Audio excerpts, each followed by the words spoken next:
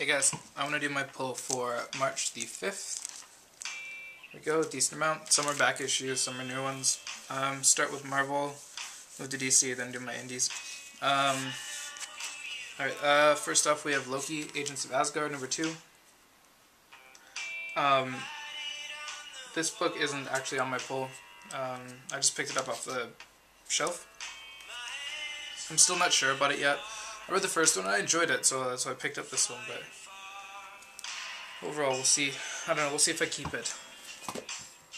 Uh, next up will be She-Hulk, number two. I am pretty excited to read this. I enjoyed the first one a lot.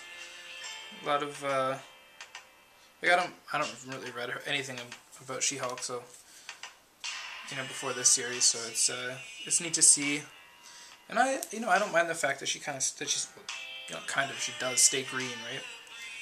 And, uh, the art, I just don't mind. People are babies. Bunch of babies.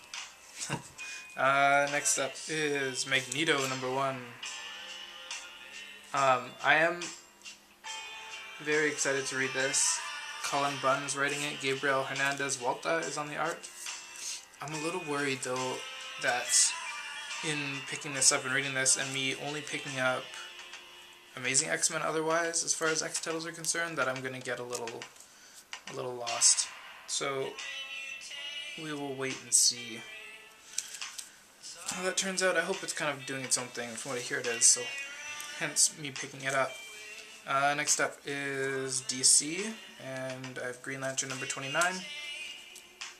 Um, it's uh, another one of those series that started off so well and kind of, I don't know, pooched it. I like the cover though, that that's really cool. A lot of animals and you see Hal in the background. If you can see it there. It's hiding. Um, next up is a book that I jumped on as of today, but I only picked up a back issue is Supergirl number 25 because of the whole Green Lantern stuff and Red Lantern stuff.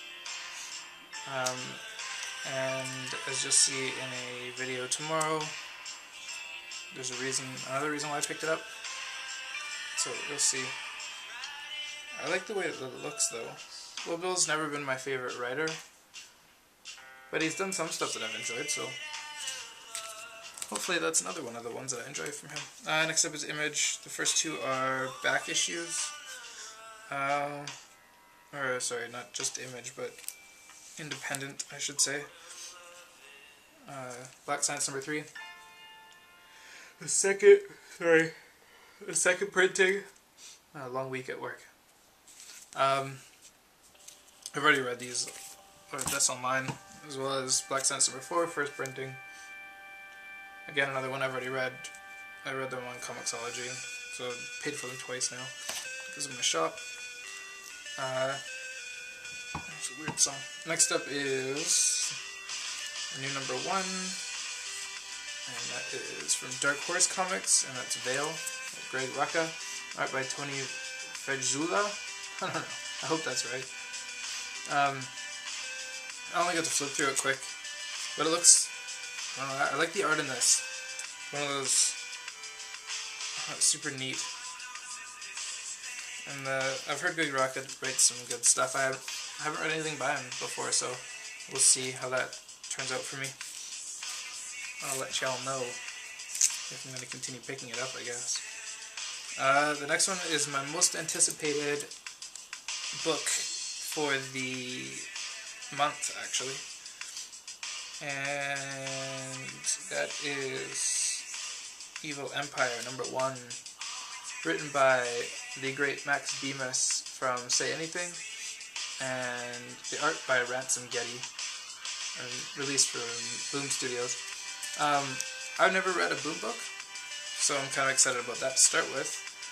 Secondly, I love Say Anything, and I'm excited to to read a book by shit, a book by um, Max Bemis. who is the lead singer and writer of that band. Yeah, anyway, super, super excited right now. I love this cover art. Simple, but it looks cool, even on the back. And the art inside is done very well as well. It's just my style. Anyway, uh, that's all I have for now. I will more than likely be posting a video tomorrow. And then I will probably be posting a video on Sunday as well. I'm to go to the used bookstore on Saturday. Um, I also bought like a, a lot of books from a dude that I'm picking up tomorrow. So, yeah, well, uh, I'll let you all see that then. Thanks for watching.